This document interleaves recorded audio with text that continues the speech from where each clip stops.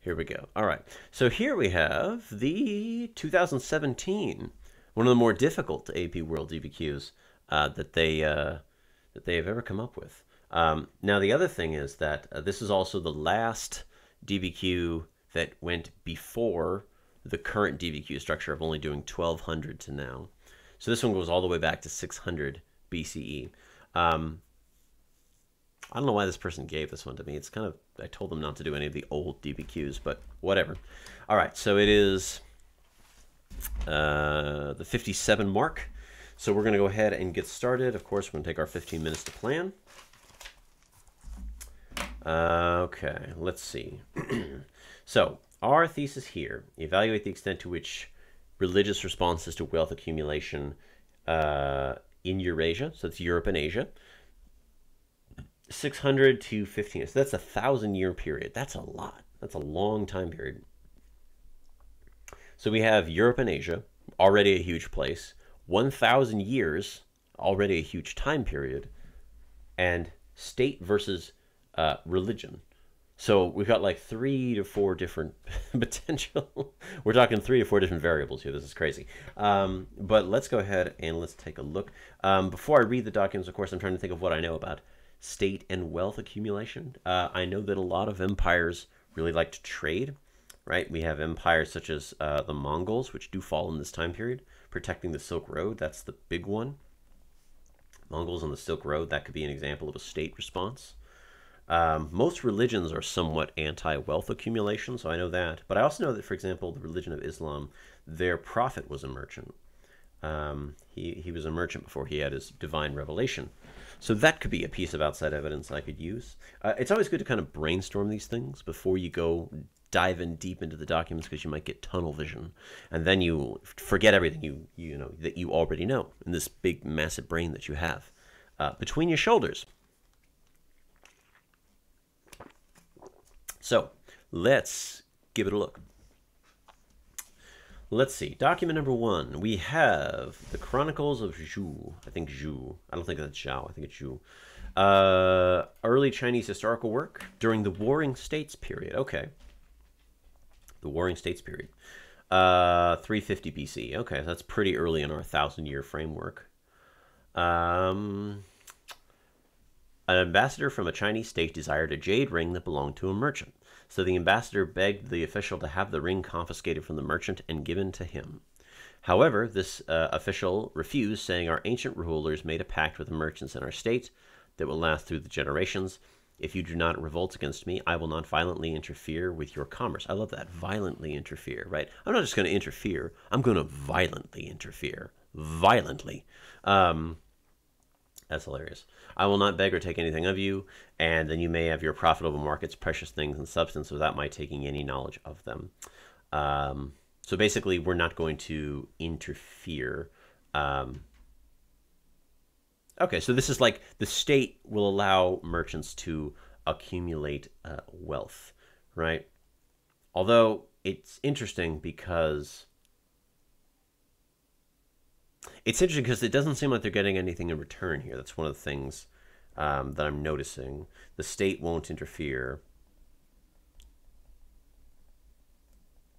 But of course, they don't seem to be getting anything in return. So that's a little sus, but um, okay. All the same, let's let's keep looking.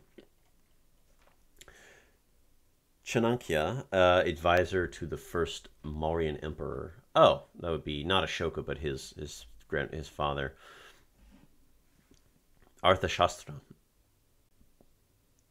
Oh, you know what? I've heard of this. I, have heard of this book. I haven't read it, but I have heard of it. I know this because um, I was on a field trip and we had a, a chaperone who was uh, an older an older gentleman from South Asia, and I told him I teach history. And he's like, "Oh, have you read the Arthashastra?" And I was like, "No, I haven't heard of it." He's like, "You should you should read it. It's from ancient India." And I said, "Okay." I still haven't read it, but that name sounds familiar.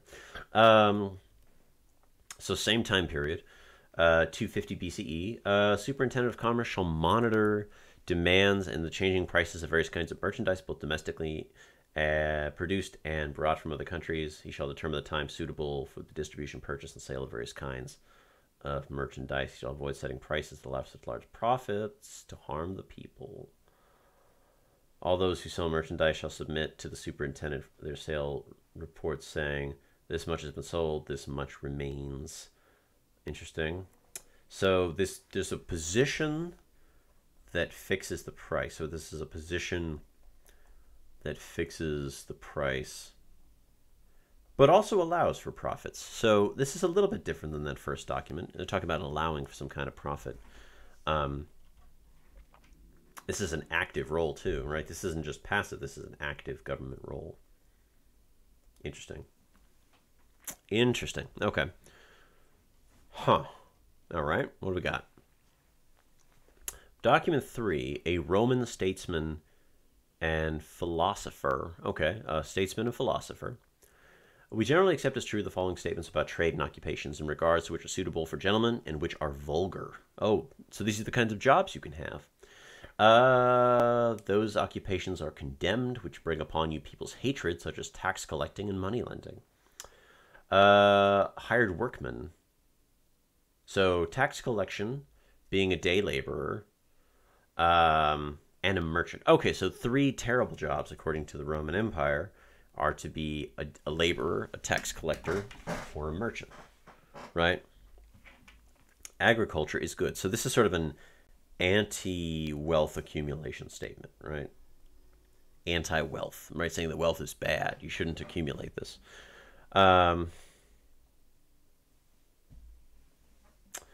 what's the best form of property ownership? He replies, raising livestock with great success, raising livestock with little success, and then raising crops. and when asked about money lending, he said, what about murder? Murder. I like that. That's a funny comparison. Money lending equals murder. Money lending is bad, yo. I'm gonna adjust my microphone really quick. Whoop. Whoop. There we go. Money lending is bad. All right, what else we got? Uh, we got a monk. Okay, so we got some state documents. Now let's look at some religious documents.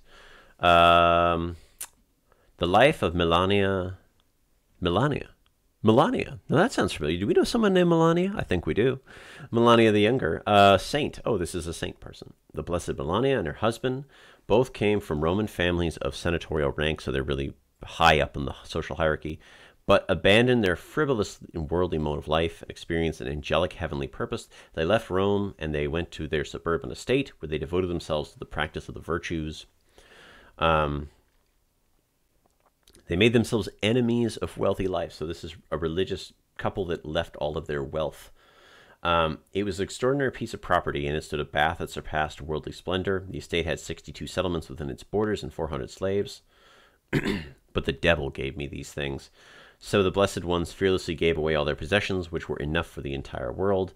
They established monasteries of monks and nuns, furnishing each place with a sufficient amount of gold. And they presented their numerous expensive silk cloths at the altars of churches and made many offerings to God. So, this person who was wealthy gave away their money to the alt to the churches, and that was good. So I, it seems like it's saying that wealth is okay as long as you give it away. That seems to be the vibe I'm getting here. Um, it also is probably worth noting that these people were probably converts, although actually by 450, most people in the Roman Empire were Christians, so they might not have been converts. They could have just been born Christians. Um, also worth noting that this is a about the, the Roman Empire was not doing well around this time.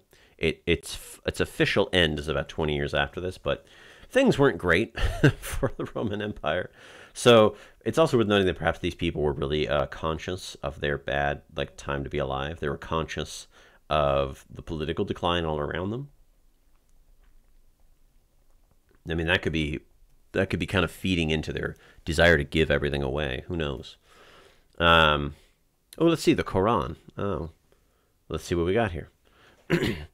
oh, you who believe, spend on others out of good things you may have acquired, and out of that which God brings forth to you from the earth, and choose not for your charity things which you yourself would not want or accept without averting your eyes in disdain.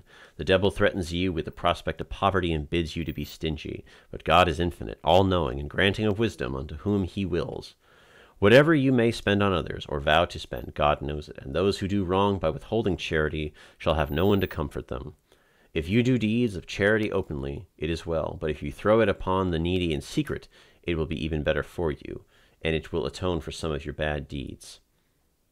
Hmm. So charity is good. I mean, this is a lot of religions agree on this. Charity is good. Speaking of charity, hey, consider donating. Got the donation bar down there. Uh, QR code right above my head. Um, cool. Uh, but if you stow it on the needy in secret, it'll be even better for you. Interesting. So if you give, that's good. So giving is good. It also doesn't say you can't accumulate wealth, right? It says you can. Uh, uh, it says you can accumulate wealth. That's fine. You know, wealth accumulation is okay, uh, provided that you give it away. Again, kind of this whole give it away thing. Right. I'm also reminded of the fact that in Islam there's this thing called um, I think it's is zakat. I believe it is zakat. Right. The, the mandatory uh, um, charity tax. Right. That could be a piece of outside information. Um, cool. Document six. What do we got here? Uh, oh, oh, nice. This is a beautiful tapestry. Painting from a Buddhist cave at Bezeklik. Biziklik, Biziklik, Central Asia, 800 CE. Painting shows the Buddha and Bodhisattvas blessing Central Asian traders bearing gifts for the Biziklik temples. So basically, give to the temples, and you will be blessed by the Buddha himself and his uh, the most the most you know holy people on earth. Yes, Guardian, that was incredibly smooth, exactamundo. Right, so let's see, we've got the bodhisattvas up here, the merchants down here giving gifts. Also merchants of every, like that's a, that's interesting. So this merchant here on the right, this is a Sogdian, and this merchant here on the left looks Chinese. Or he's wearing a hat that indicates he might be from that part of the world. Interesting. Interesting. So, again, it sounds like if you give to religious endowments, you're going to be good, right? Give to religious endowments, you'll be fine religious endowments. Right, you're going to go ahead and be a-okay uh, if you give to religious endowments. So I'm sensing a serious, I'm sensing a pattern here. I'm sensing a pattern, at least with the religious uh, responses to to wealth.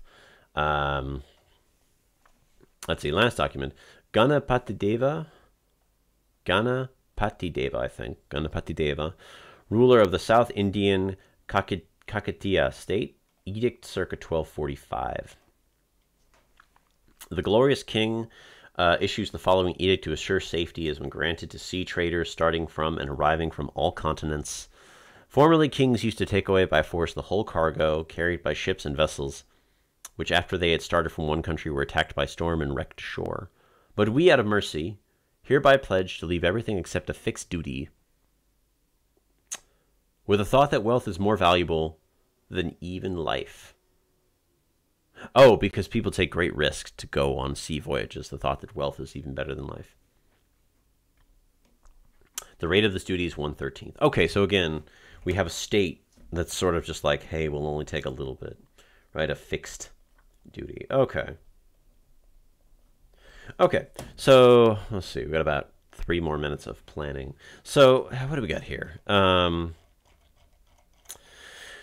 Huh. Okay. So if the question is the difference between how much, how different are the states to the religions? I would say not very much. But what angles do we have to analyze that from? Well, religions, t- it seems like from what we've seen, religions tended to say something to the effect of it's okay to have wealth as long as you give it away. Wealth itself is not good unless you do something positive with it. That seems to be the religious position, which should surprise nobody. Um, shouldn't really surprise that. That you know, religions tend to be about you know charity and doing good works. Um, so the response of religions needs to be wealth. Here, I'm actually going to switch over to the document so I can you can see my kind of. I'm going to type out my thought process here. Let's see. Um, Okay.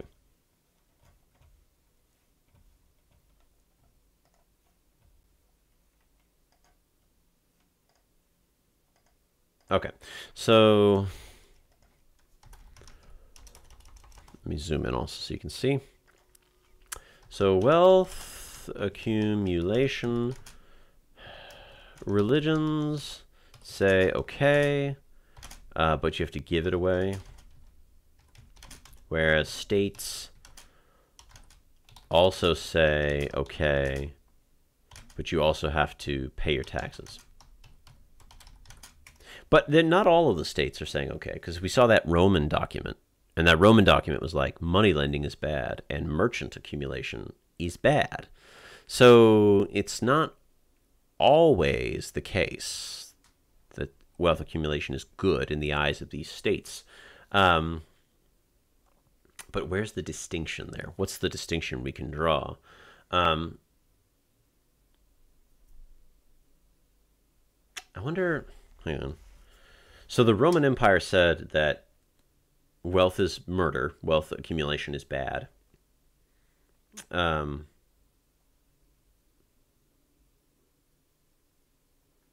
oh, you know what? You know what? I think, let's see.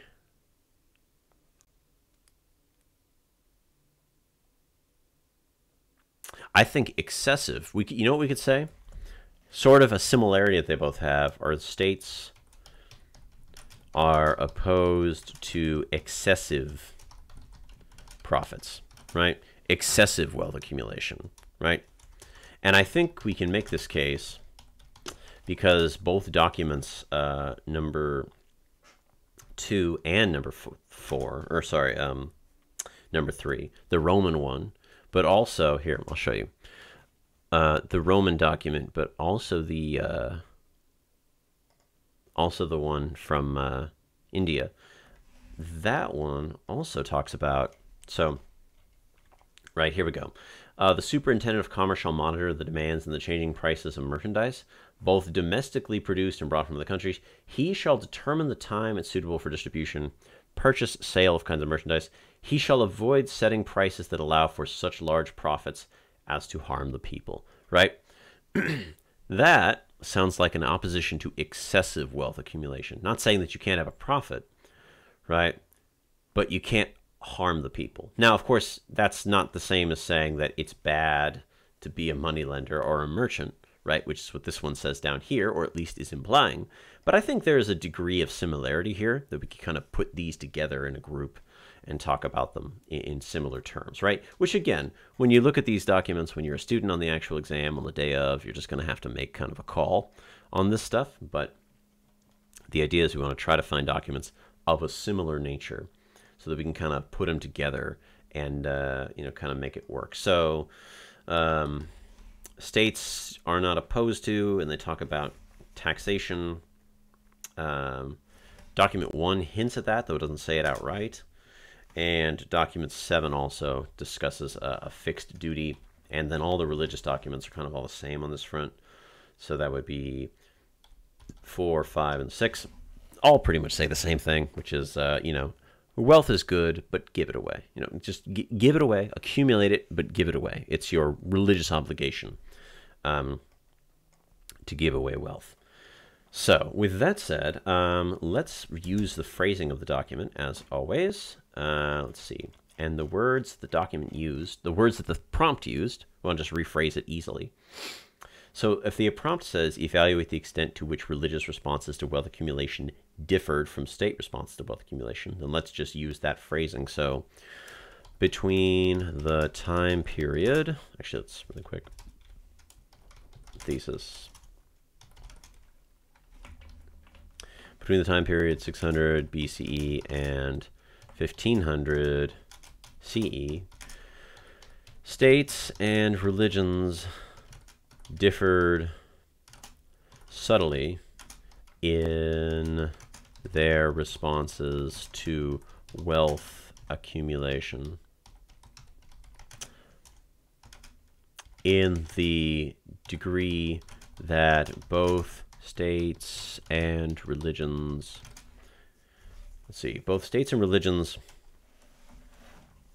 did not oppose wealth accumulation provided that it was given away by religious peoples or that taxes were paid by merchants in India.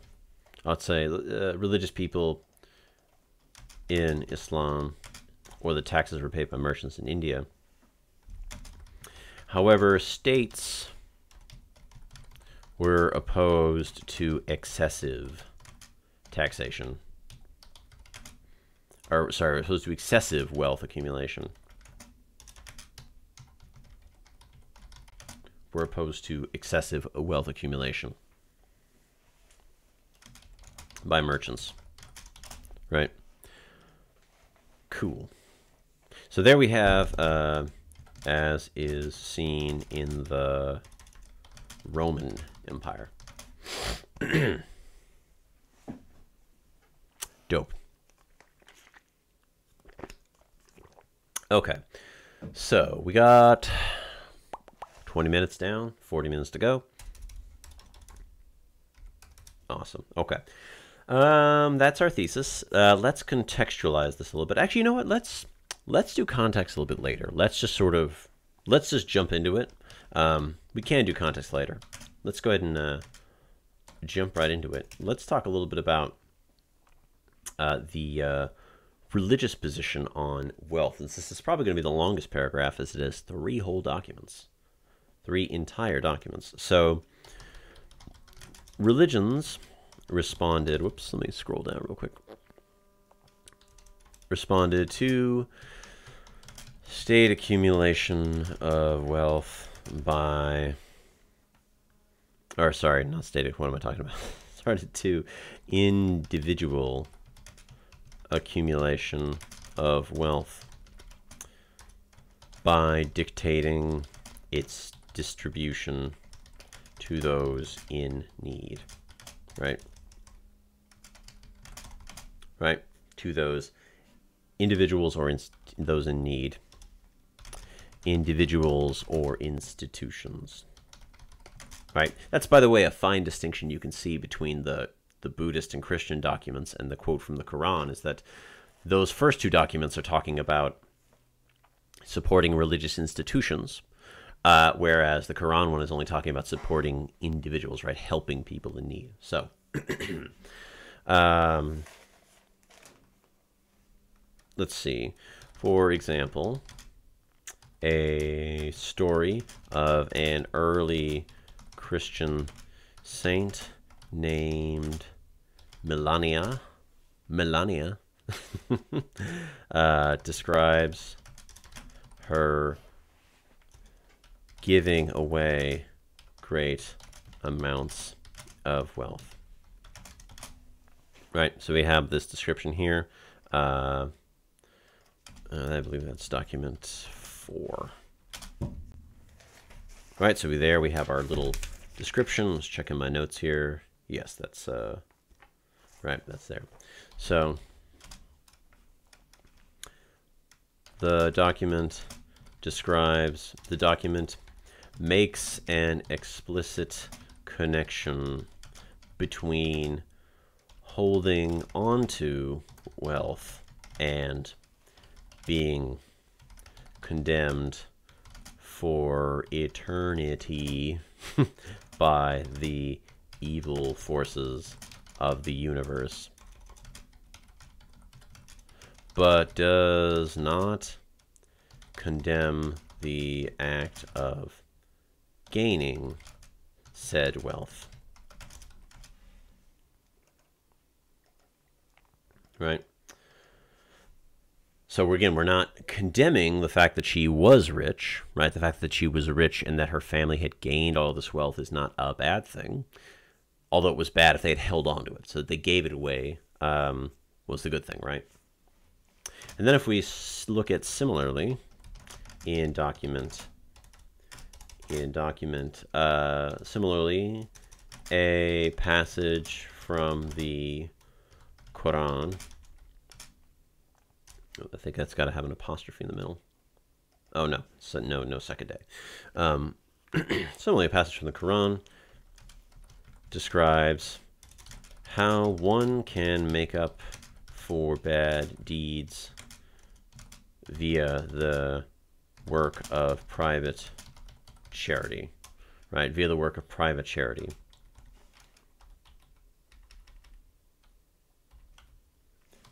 I'm also realizing that that analysis for that first document is not terribly, um, not terribly nuanced. So I'm going to go back and fix that in a second. Um, in particular, this was a major part of the religion of Islam, which institutionalized charity for the poor in the form of a tax on wealth known as zakat. I actually don't know if it's a tax individually on wealth, um, but it is a tax on something, right? So let me go back really quick and fix this. Um, hold on. This means that one can accumulate wealth as long as one recognizes its proper use is supporting religious endowments.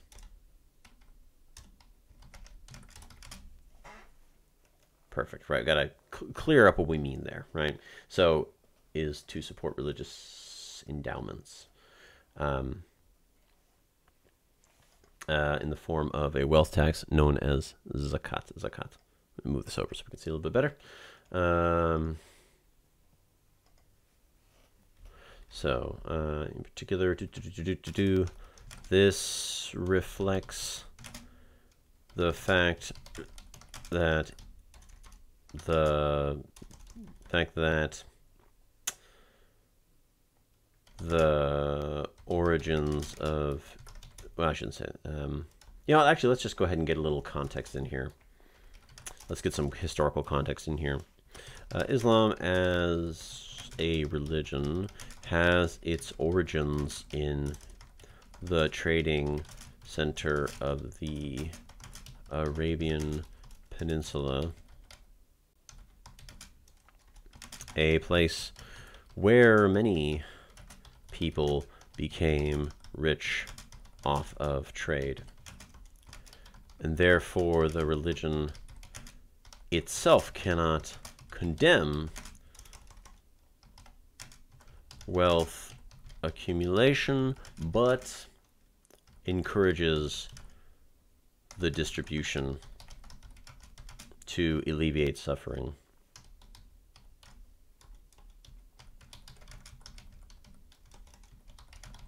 of the poor. I feel like that's that's not really a stretch, although I admit that that is, to be clear, not the most nuanced take on a religious text, right? Clearly, there's probably a lot more at play in that passage, but since again I'm just a high school student writing a high school essay, um, that's about the depth of the nuance I'm going to be able to provide for that very particular um, passage. Let's see, and then finally, we have a tapestry from a Buddhist cave in Central Asia. Central Asia, so that's probably on the Silk Road. In fact, I wouldn't be surprised if that is in modern day Uzbekistan. It might be. Um, we have a tapestry from a Buddhist cave in Central Asia, which shows merchants being blessed for bringing gifts to the temple to a... Actually, you know, this is a good question. Hang on, let's take a look.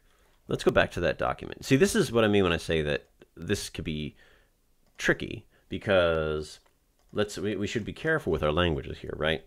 So let's look at this. Okay, we have the tapestry. We have the merchants here. They're bringing gifts of something, wealth perhaps, right? The painting shows blessing Central Asian traders bearing gifts for the temples. Okay, so the, the traders aren't giving gifts to the Buddha himself. Why would the Buddha need gifts? He's the Buddha, he's enlightened and eternal, but the temple, right? So this is very clearly for the temple. But why? Oh, the cave temples. Okay, the cave temples. All right, never mind the cave temples. Okay, okay. That's that's what we're getting at. Okay. Okay, let's switch back. Okay, that's what I mean when I say when you're writing these, sometimes you got to be careful about what you're saying. Cause like, you know, if I talked about giving gifts to the Buddha himself, that wouldn't make a lot of sense. All right. so, um, shows the merchants being blessed for bringing gifts to a religious institution. Again, like with Christianity, this depiction of wealth is is blessed literally. As long as the wealth is put towards a good cause like the temple or other religious institutions which do holy work or good work. Right? And I should probably take this time to talk about why it is a great little, little some little context here or audience, perhaps some intended audience, which I haven't done yet, would be a really good idea. Or I did do intended audience the first time. The intend, the purpose. Actually, you know what? Even better, even better. Let's do. Uh, no, actually, let's take it back. Let's just do intended audience because this is easy. The intended audience of this painting was no doubt uh, merchants on the Silk Road, right? In this case, those people would have had wealth to give, and Buddhism was popular among these merchants as it was not geographically limited like other religions of the Silk Road.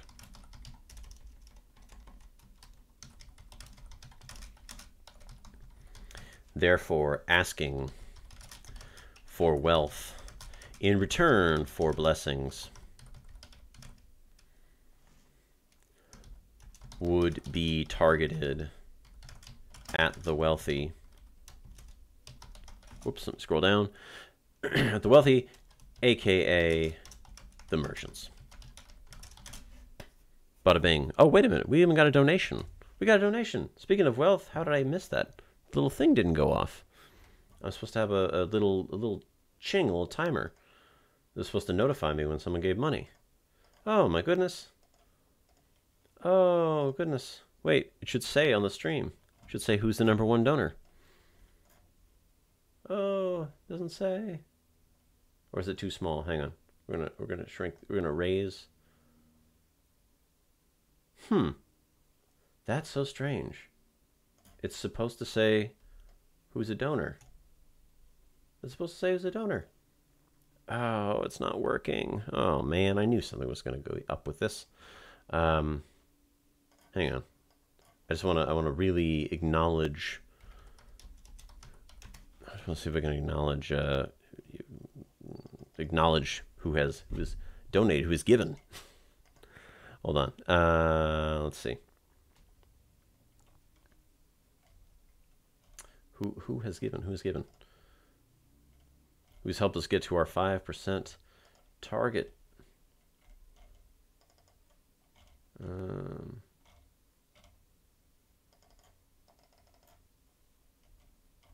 Hmm. Well, I guess that person has chosen to remain anonymous. Well, whomever that person is, thank you.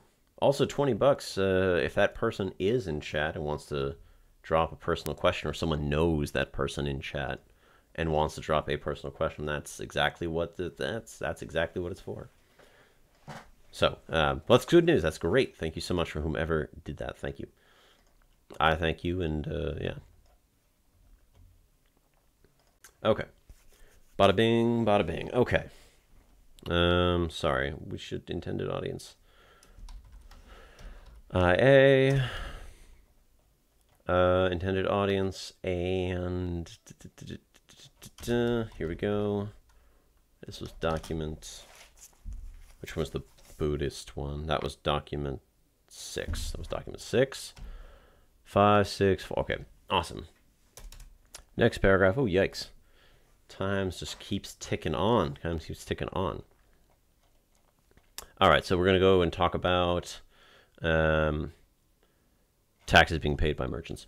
Uh, states were also not opposed to wealth accumulation by individuals, provided that taxes were paid. Provided that, actually, I shouldn't say that because it isn't always talking about taxes. Provided that states could profit themselves from the merchant activities. From, I shouldn't say the merchant activities, from merchant activities. Cool. So, for instance, the, for instance, China, since the times of the warring states, had a guarantee not to confiscate merchant wealth, right? Not to confiscate that merchant wealth, right? As is described in a letter, right? And that's document number one. While the state, while the states, uh, while the state itself does not profit directly according to the letter,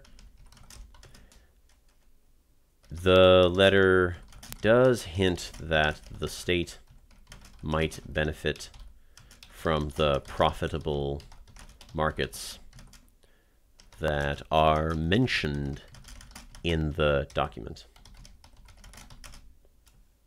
Historically, states have tried to take advantage of advantage of trade routes and trade activities. This Chinese state would not be the last to do this. Most famously, the Mongols, or I should say the Mongol Empire, protected merchants on the Silk Road. Right, most famously, the Mongol Empire protected merchants on the Silk Road in order to tax the profits of their economic activity. Only confirming that states are not opposed to wealth accumulation. Cool.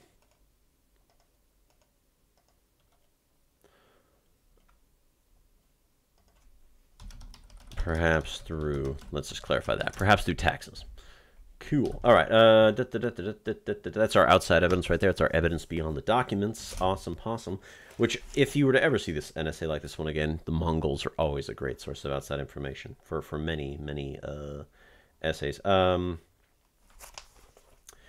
this can also be seen in an edict from a South a South Asian ruler who agreed not to confiscate goods in return for a set tax. This represents a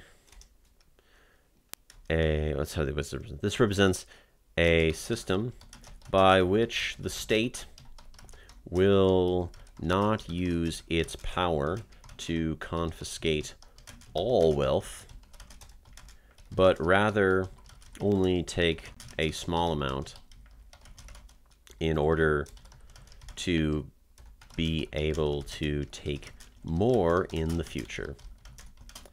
Right, so in other words, a steady taxation base, right? So a steady taxation base instead of an outright confiscation, right? So again, there's not opposition.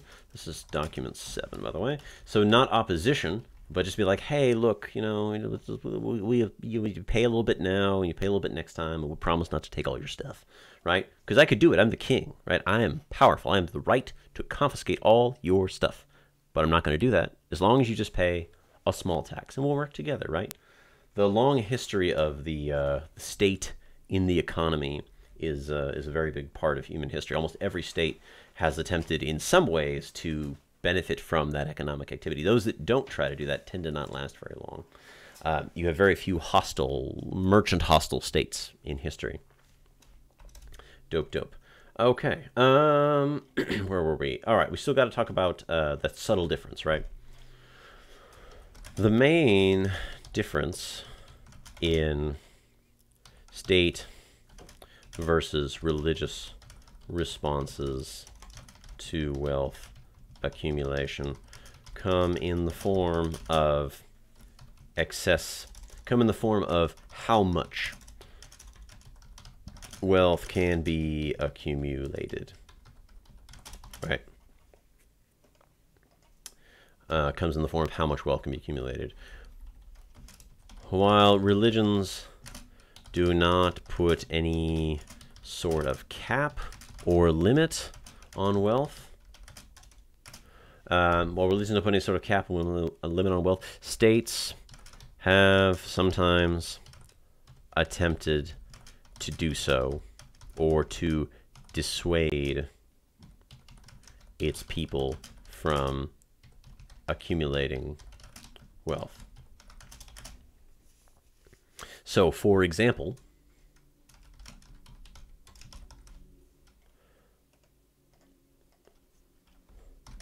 so for example, the Roman Empire attempted to prevent an, or I should say the Roman Empire, um, one Roman statesman compared merchants and money lenders to murderers. That's a that's a bit of a humorous comparison. Merchants and moneylenders to murderers. This comparison was done in an attempt to appeal to the right or correct ways of building wealth which was agriculture. However, in the Roman Empire, only the families with lots of land and slaves managed to acquire wealth in such a manner. Meaning, for most Romans, this would keep them in a lower economic class. That's a little bit of context, a little bit of complexity in there. I'm not going to go so far as to say it's a hip statement, but um, I think it certainly comes a bit close to it, right? It, it definitely would add to that complexity point. Right, so, um, da da da da da. da. All right, so that's uh, that's document three. Right, that's document three, yes. Let's consult my notes real quick. Um, yes, that is document three. That's document three. And last but not least, um, a less extreme example would be the Mauryan Empire's policies of fixed profits and the superintendent of commerce. The superintendent. Not just a regular intendant, he's a superintendent of commerce. Now, it's a superintendent of commerce. This uh, this policy of allowing fixed profits ensures that no merchant becomes too wealthy or powerful and represents the state's attempt to limit wealth accumulation. I think we'll do context here. Uh, in particular, this was written when the Mauryan Empire was young, was a young state, and may have been intended to prevent the rise of a wealthy merchant class, which could threaten the political class. Now, of course, that's conjecture. Uh, I have no idea if that's really the case. Um, um, but that's kind of the arguments that you can make uh, when you're doing these essays. Just, you know, if it's something you could infer, possibly, then you can make the case, right? Um, and I think this is a reasonable historical uh, guess. Now, obviously, again, I'm not a PhD. This isn't a PhD paper. This is just uh, something a student might think of when they are uh, writing these essays, right? They may not know this is the early Mauryan Empire, um, but you know, it's always possible. New political class. Um, so that would be context, political class, and actually, here, hang on. Later, these policies might have been lifted after the state was more secure. Cool. Okay. Now, one of the things I've kind of realized as I've been writing this is that we really could have probably combined paragraphs two and three. Um, we could just kind of brought them together. Uh, they didn't necessarily have to be separate. For me, just in my head, it was a little bit easier to uh, just kind of separate them, which is fine if that's what you uh, uh want to do. Uh, if you want to keep them separate in your head. But uh, it, they really could have just been separate. They didn't necessarily need to be one. So let's see. Describe three documents, support seven of them. we got a thesis. Uh, we got three HIPP statements. I think we have enough uh, complexity in there. Um, we've pointed out, um, let's see, the, the subtle difference between, um, actually, you know we can do to add a little bit more complexity, right? Um, Zakat is institutionalized. Um, this is an interesting difference because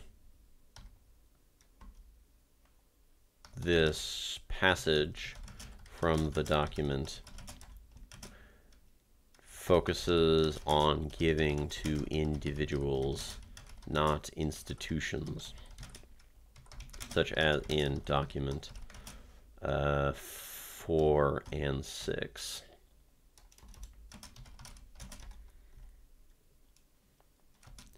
Yet even here, an charity must be structured to make sure it gets to those who need it. Must be structured by religious leaders. There we go. That's a bit of nuance there. We can just put that in there. Cool. Um, um, um, um, oh, right. We don't have a context statement. We gotta get. We gotta contextualize all this. Okay. Contextualizing. That's right. I thought I was done. I thought I finished with ten minutes to go. I did not. I did not. Um. Okay. Um. Contextualizing. Uh. Da, da, da, Let's see. let's start really broad. Let's go back really far. So Some of the earliest. I'm gonna. I'm gonna. I'm just going full documentary mode here. I'm sorry if this is. This is gonna. We're, we're departing from what I think the average student might be able to know. I'm. Go, we're just going full documentary here. I apologize. Promise I won't do this again. Some of the earliest known records in human history are those of taxes and financial transactions, which is true. I was it's it's that's exactly what we know about the ancient world: financial transactions and taxes. Um, this reflects the long concern with the long concern of states and probably religious leaders with the question of wealth accumulation.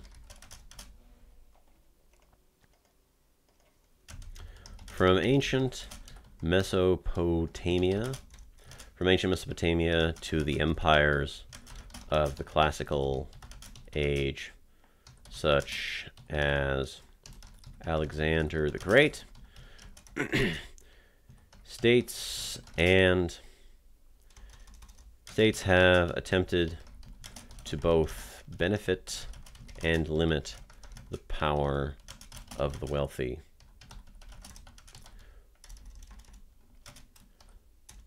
The rise of classical religions brought another dimension to this control in the form of giving to those less fortunate. So there we go. That's that's I will fully admit that that's probably not something a student would come up with. What a student would probably do in this case is a student would probably come up with a list of empires and how they rose in the time period prior to 600 BCE. They might talk about like the rise of states, which you could do, and that would count. Um, I'm just kind of going full documentary mode here, um, just because I kind of feel like it. Um, but okay, uh, let's see. Doop, doop, doop, doop, doop, doop, doop. I think we have everything here. Document number four. Let's see. State versus religious response to wealth accumulation. Okay. Got it. All right. Okay. So that's four down with five to go.